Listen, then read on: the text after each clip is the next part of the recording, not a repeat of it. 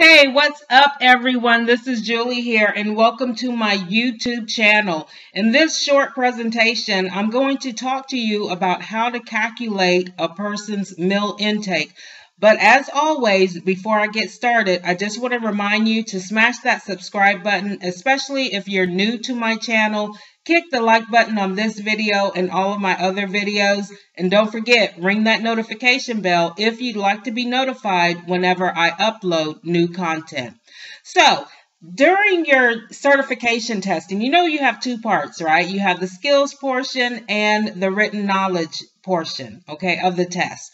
Um, in the written knowledge portion of your uh, certification exam, there you have different versions of the test. Right now they're using four versions. Okay, they're using the purple version, the teal or blue version, the green version, and the orange version.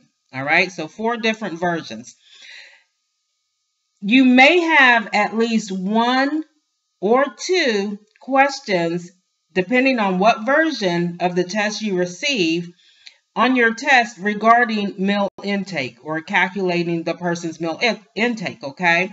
So you have to be really careful about how the question or, or the context of the question and especially the contents of the question, okay? There are two variables that are important. One set of those variables lie within the question, and basically it's that variable is telling you the amount of the certain food item that the person ate. The second variable is the actual pie chart itself, okay, which will tell you um, how much percentage is accounted for or that food item accounts for that entire meal. All right, so let's start off first with reading this question. So the question reads, during the lunch meal, Mrs. Jenkins ate half of her hamburger and fries, half of her salad, and all of her fruit cocktail. She drank all of her sweet tea. What will you document as Mrs. Jenkinson's intake for her lunch meal? Now, I'm going to tell you what is not important, okay? What's not important is it was a lunch meal, okay? It doesn't matter if it was breakfast, lunch, or dinner, okay? All of that is irrelevant. That's just fluff that they put into the question, okay? Again, what you have to be concerned with is the amount of food that she ate, okay? The amount of food. The second, again, is the variable, okay? What percentage or yet what percentage accounts for the entire meal of each food item, okay? What percentage of each, food, each food item accounts for the entire meal? All right. So if you look at the pie chart, and I believe um, the meal intake questions on your test, uh, either the pie chart is um, just below the question or it may be off to the side. Okay. It really doesn't matter, right? But just so you know where it's going to be located at. So it could be at the bot, uh, at the below the question or to the side of the question. So if you look at hamburger and fries, the hamburger and fries portion of the meal accounts for 50% of that meal. All right, 50%. The salad accounts for 30%. The fruit cocktail accounts for 10%. And the sweet tea accounts for another 10%. So if you add up all of these percentages, that's 100%. Okay, so if Mrs. Jenkins ate all of her food that was on her meal tray and she drank all of her sweet tea, you would document 100%. Okay, she ate 100% of her meal, of her lunch meal, right? But pertaining to this question, that's not the case, right? So if you look at it, you're going to see that Mrs. Jenkins ate only half of her hamburger and french fries, right? Now you look down here, her hamburger and fries account for 50%. So you'll just have to do a little basic math, okay? Basic math. And what you're going to do is div division, right? Half of 50 is what? 25, okay? She ate half of her hamburger and fries, so you're going to divide 2 into 50, which will give you the 25%. Now, let's look at the other food item, her salad. She only ate half of her salad. Her salad, if you look at the pie chart, accounts for 30% of the meal. Again, you're going to use basic division. Half of 30 is 15%, right?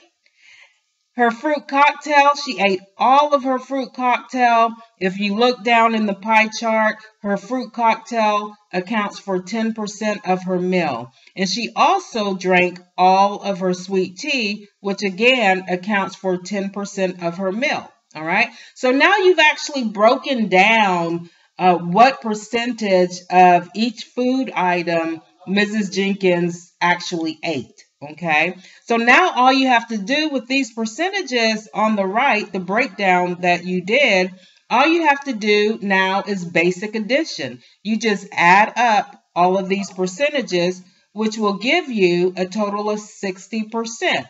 So that is what you will document. You will document that Mrs. Jenkins ate 60% of her meal. All right. I'm going to advance to the and we're going to take a look at another question. Now, this question um, has, is in the same context, but it has different content, okay, in the way that um, the meal is explained to you, all right? So let's read this question. It says, Mrs. Jenkins was served two scrambled eggs, two slices of bacon, one slice of toast, and a glass of orange juice for her breakfast meal. She ate half of her scrambled eggs, two slices of bacon, and all of her toast, and she drank all of her orange juice. What will you document as Mrs. Jenkinson's intake for her breakfast meal? Now, again, you know, whether it was breakfast, lunch, or dinner, that's irrelevant. Okay, it really is. It's irrelevant. What is relevant is the amount of food she started out with and what percentage of that item of food accounts for her entire meal, right? So if you look down below the question at the pie chart, you'll see that her scrambled eggs accounts for 50% of her meal, okay? So it doesn't matter if she had two scrambled eggs, three scrambled eggs, or five scrambled eggs. What matters is that she that that portion of food accounts for 50% excuse me, accounts for 50% of her meal and that she only ate half of her scrambled eggs. All right. Okay. I hope y'all are following me. Now, her bacon accounts for 25% of the entire meal, toast 15%, and orange juice 10%. All right. So again, like with the previous pie chart, if you add all the percentages in this pie chart, it will add up to 100%. All right. So again, if Miss Jenkins ate all of her breakfast, all of the food, and all of her uh, beverage that was served to her, she would eat or you would document 100%. Okay. But again, as with the first question, that's not the case. All right. That's not the case. So she only ate half of her eggs. Okay. Half. So you'll divide 2 into 50. Again, it doesn't matter if she had three eggs, if the question says she had four eggs or five eggs. What matters is whatever amount of eggs she had, she only ate half of. And her scrambled eggs account for 50% of the meal. So because she only ate half, as with the first, as with the first question, you divide 2 into 50, which will give you the 25%. Okay. Now, um, it also says that she ate two slices of bacon, right? And that's what she was served. She was served two slices of bacon. And her bacon, so she ate all of her bacon, which accounts for another 25%. Okay. Then it says that she ate all of her toast. She was served one slice of toast, so she ate all of that. If you look in the pie chart, her toast accounts for 15% of her meal. And then it says she drank all of her orange juice. If you look in the pie chart, you'll see that her orange juice accounts for 10% of her meal.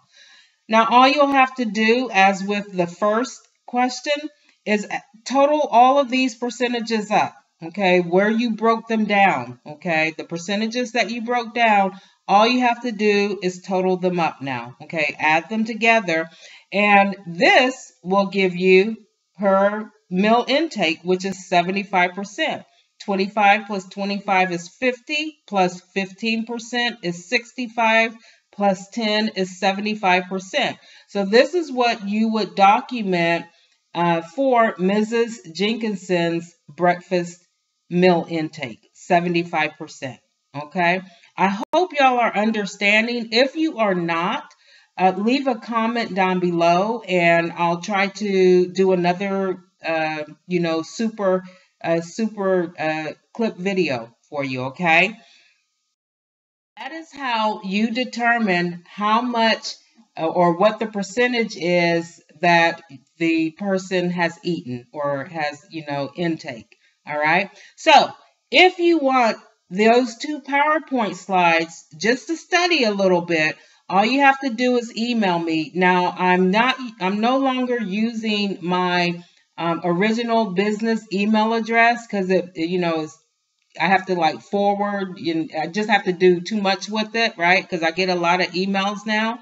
But um, I have my new um, contact email address that you can email me. Um, it's NATCEP, that's N-A-T-C-E-P, instructor jar, J-A-R, at outlook.com. Okay, if you want those two PowerPoint slides, just email me in the subject line, just put PowerPoint slides or um, intake slides, okay? And I will get those to you. Um, I'm going to get ready to end this super clip right now on calculating meal intake. But before I do, as always, people, please subscribe to my channel, okay? Especially if you are new visiting my channel and if you are watching my videos, okay? Go ahead and subscribe, all right? Um, also, Kick the like button on this video and all of my other videos. You kicking the like button will make my channel more recognizable to the public and it will also make it easier to locate, okay? Not only on YouTube, but also in Google, okay? So don't forget to kick that like button. And then you want to ring that notification bell if you want to be notified whenever I upload new content. Hey, I just want to thank you all for your continued support.